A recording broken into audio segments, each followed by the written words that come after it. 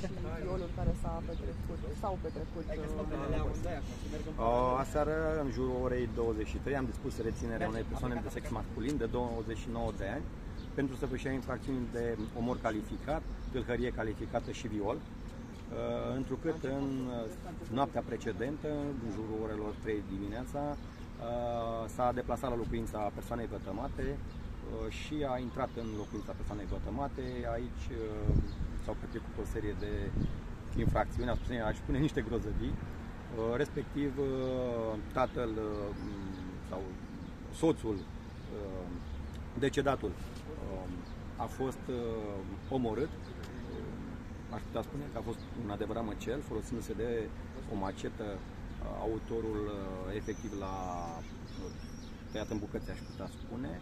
Scopul a fost de jaf și nemulțumit că n-a găsit uh, decât suma de 250 de lei, autorul uh, s-a răzbunat cumva pe una dintre fiicele familiei de 21 de ani și a violat-o, după care a plecat. Uh, în mod uh, pentru a disimula scopul uh, săvârșirii faptelor, autorul a um, susținut că a venit în scop de răzbunare, cumva că decedatul ar fi avut o relație cu soția autorului, lucru neadevărat, total fals, fără niciun fel de fundament. Um, autorul a și recunoscut în totalitate săvârșirea faptelor, ne-a dat și detalii s-au efectuat, s-a efectuat și o percheziție la domiciliul acestuia, unde au fost găsite uh, mai multe bunuri um, care probează cu, uh, în mod complet săvârșirea faptelor ce îi se impută.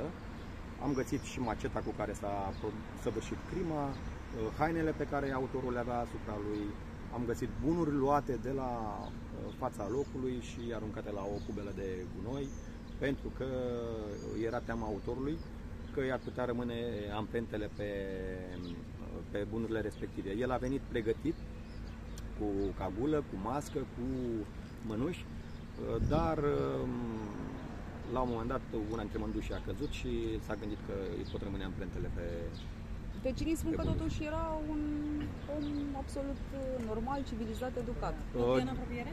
Discutăm, da, locuia la 3-4 case distanță nu avea antecedente penale și explică autorul săvârșirea faptelor, motivația, să spunem, de bază, prin faptul că avea nevoie de bani pentru că era consumator de droguri. În ziua respectivă a consumat droguri cam toată ziua și cumva acesta a fost scopul. Deja. A fost și o agresiune sexuală. Da, da, da, vorbim și de un viol, v-am, așa cum v-am spus, nemulțumit că nu a găsit decât 250 de lei, autorul a hotărât să se răzbune pe fica uh, cea mare a familiei și în consecință a săvârșit și o infracțiune de viol. Vorbeați de faptul că el mai întâi a încercat să disimuleze uh, sub o așa zisă răzbunare, dar și soția victimei a vorbit de acest lucru încă de ieri dimineață, practic înainte ca el să încerce această disimulare cu răzbunarea. Deci și ea a susținut o presupusă relație extraconjugală. Păi nu, nu, el nu doar în fața închetatorilor a spus chestiunea asta, ci în fața membrilor de familie. Când a atacat? Când a atacat, da, da, da, da. Uh, din acest motiv, uh, noi am mers și pe această pistă a răzbunării, că cercetările au fost mai ample, de mai multe, am luat în calcul toate ipotezele și uh, în final nu s-a aprobat această ipoteză de lucru. Chiar autorul a confirmat că n-a fost decât o să spunem, inducere în eroare a membrilor familiei, gândindu-se pe ulterior să facă Bun, dar și atenția organelor de anchetă această situație. Fiind vecin, femeia nu l-a recunoscut, nu și-a dat seama cine este? Uh, omul purta mască, purta cagulă, uh, îi se păreau, părea, uh, ne-a spus că îi par cunoscute așa mișcările persoanei respective. Trebuie să spun că faptele s-au întâmplat cu lumina stinsă, deci cumva la lumina lunii, prin umbre cumva se vedeau, se distingeau persoanele respective. De altfel mi-a și spus că nu și-a dat seama ce a săvârșit, respectiv că persoana, uh, persoana a, uh, a fost uh, omorâtă decât dimineața. Adică a lovit de El a lovit, ori a lovit, el nu a știut că persoana respectivă a decedat efectiv. Abia dimineața el a, a aflat cu certitudine că vecinul s-a murit. Apropo, dimineața înțeleg că a trecut chiar și pe lângă casa groazei, ca să zic așa, înainte de a pleca la serviciu, spun vecinii. Da, da, da, da. Păi uh, oricum este și foarte aproape de casa, așa cum am spus, e la trei case o distanță și într-adevăr a, s-a deplasat acolo în proximitatea casei uh, victimei. Au fost vecini care înțeleg că încă de ieri dimineață au afirmat că el ar putea fi criminalul. L-au indicat ca și criminal.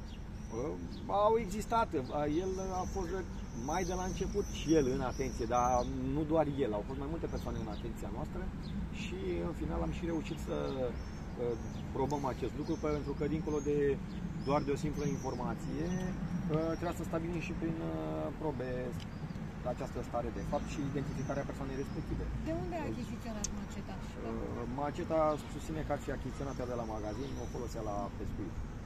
Dar având în vedere că sunt vecini, probabil cunoștea situația financiară a respectivei familii. Avea el indicii că au bani, am înțeles că era vorba despre o familie cu un trai modest.